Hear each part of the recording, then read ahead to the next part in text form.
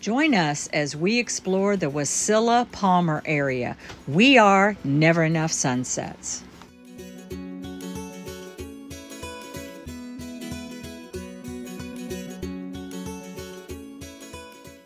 We stayed at Finger Lake State Recreation Site.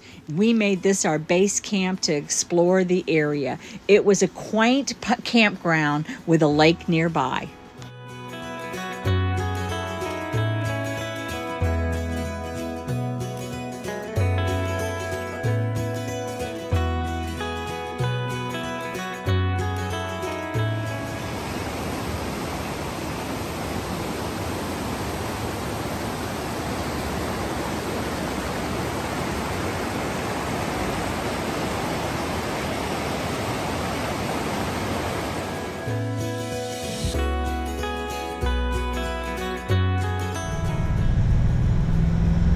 The sun came out and we are heading up to Hatcher's Pass. So far, it's a beautiful drive up and glacial water stream next to us. And it's only like five miles, but it takes you 20 minutes because it's so curvy. We'll take you along.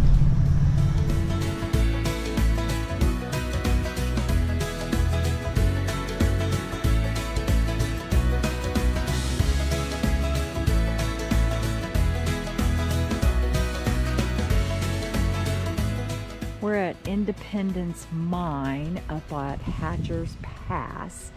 This is one of the bunk houses that was used in 1938.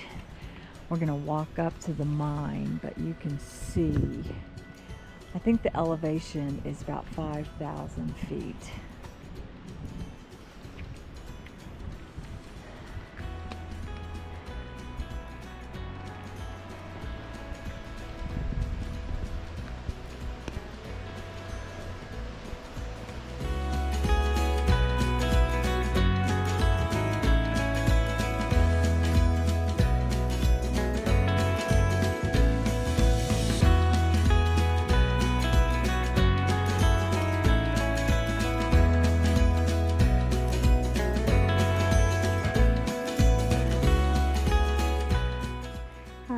Made it to the top. This is where the mining occurred, where they had the uh, rail track to bring the ore and minerals out of the mountain. As you can see, beautiful. There's the town down below. And there's where we're parked out there.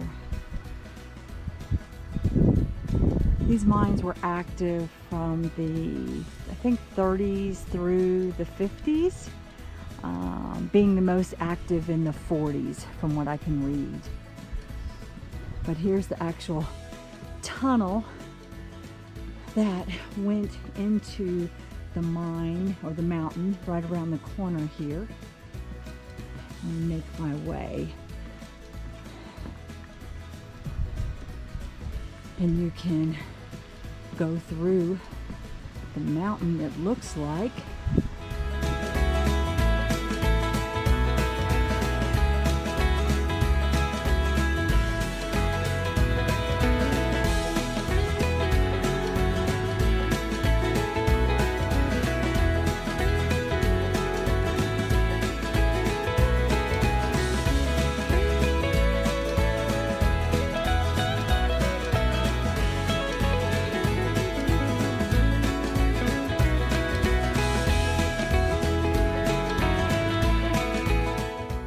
We then headed to the Iditarod headquarters in Wasilla to look at the dogs and maybe take a ride.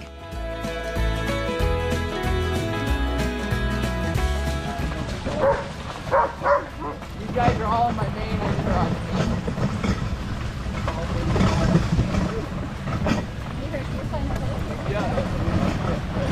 Wow! Get